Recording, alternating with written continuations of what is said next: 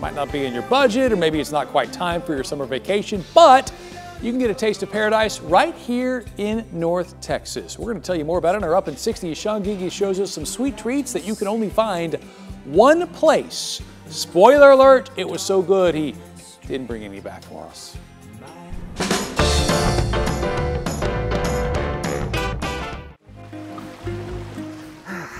Nothing like sun on your skin, sand in your toes, and a tropical treat in your hand.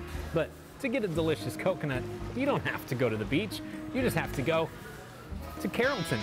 This is Coconut Paradise, and it's located inside 99 Ranch Market in Carrollton. It's only been open a month, but already has a cult following. This is much bigger than I expect. Hang Yu Zhen says his wife, Li Ping Wang, came up with the idea. They serve sweet treats made with Coconut, of course. Their most popular is coconut jelly. Kinda like pudding, it's made with coconut water, coconut cream, whipping cream, and then topped with whatever you'd like. And they say you won't find anything like this in all of North Texas. So it's something you will never try it before. They've also got drinks and all sorts of other coconut concoctions. And best of all, it's healthy. They are low calorie, less sugar, and also delicious. So instead of feeling guilty, you'll feel like you're in paradise.